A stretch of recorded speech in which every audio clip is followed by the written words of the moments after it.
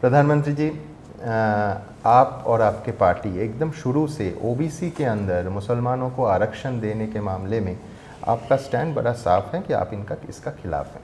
और सारे इस चुनावी दौर में भी, रैलीज़ में आपने इसका ज़िक्र किया है।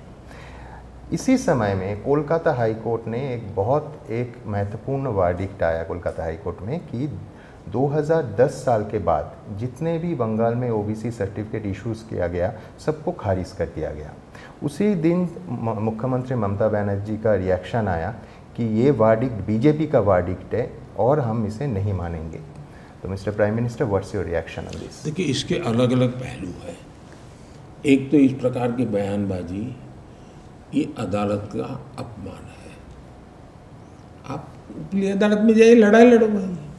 लेकिन इस प्रकार से कहना, कोर्ट को कहना है कि बीजेपी मतलब आप अदालत को इस प्रकार से अपमानित करें तो सुप्रीम कोर्ट का काम है कि इसको गंभीरता से ले और जो भी आवश्यक है वो कार्यवाही करे। कि कोई व्यक्ति अदालत को इस प्रकार से क्यों अपमानित करे? ये तो अनुचित है।